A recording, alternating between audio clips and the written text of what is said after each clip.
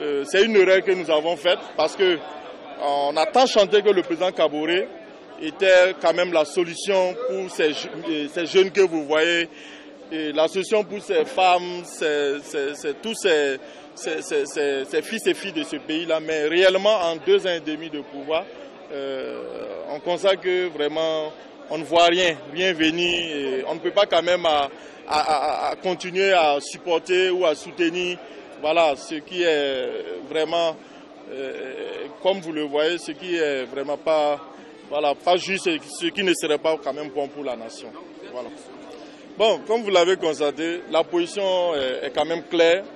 La position est claire. Nous avons quand même montré notre rupture aujourd'hui, ce soir, avec euh, le MPP. Nous avons quand même montré notre rupture avec le président Roch Christian Caboret.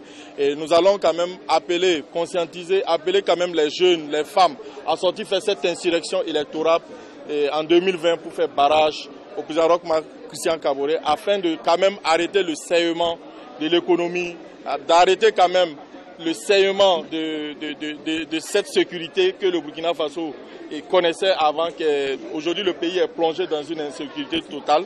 C'est-à-dire le président Edi Kombogo, comme je l'ai dit, sans faire ses éloges, c'est quelqu'un, s'il a pu quitter d'un célibatérium à un empire aujourd'hui, c'est quelqu'un également qui peut réellement voilà, envoyer le Burkina Faso qui sombre actuellement vers la lumière, vers le, vraiment le succès que tout Burkina attend.